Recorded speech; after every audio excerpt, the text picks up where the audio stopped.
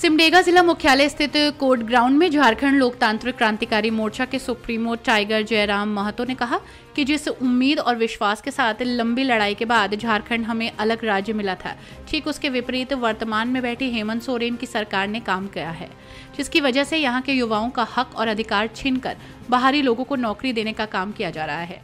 बदलाव संकल्प यात्रा के दौरान लोगों को संबोधित करते हुए कहा कि भगवान बिरसा मुंडा बुधु भगत, तेलंगा, खड़िया ने जल जंगल ज़मीन की लड़ाई के लिए अपने प्राणों की आहुति दी।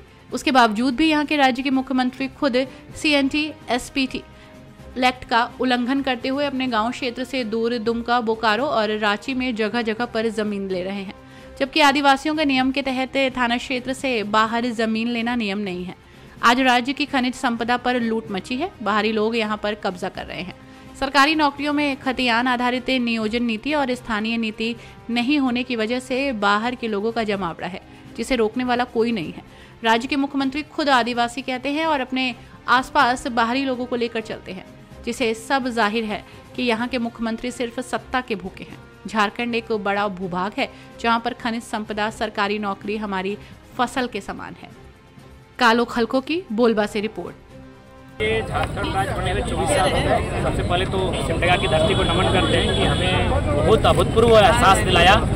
जहाँ तक मुद्दों का सवाल है, मुद्दे वही हैं जो झारखंड में बिरसा भगवान के समय थे, जयपाल सिंह मुंडा, विनोद बिहारी महतो और निर्मल दा के समय थे। वही मुद्दे हैं। मुद्दे हैं इन जमीनों को सुरक्षित करने की। नहीं तो इसी प्रकार जो चालाक, धूर्त किस्म के लोग हैं, वो किसी प्रदेशों से आएँगे, किसी देश से आएँगे और हमारे ज़मीनों को लूट कर चले जाएँगे चले जाएँगे नहीं तो उस हमारी ज़मीनों को अधिकृत कर लेंगे।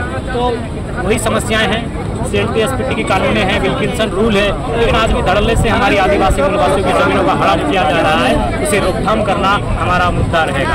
आज कोई भी राज्य बनता है तो सबसे पहले एक पॉलिसी बनती है कि इस राज्य का मूल निवासी कौन होगा।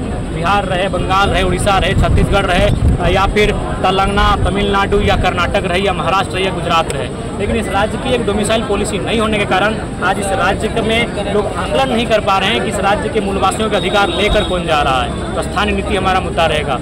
क्योंकि ये राज्य किसानों का प्रदेश है एक बेहतर कृषि नीति हमारा मुद्दा रहेगा।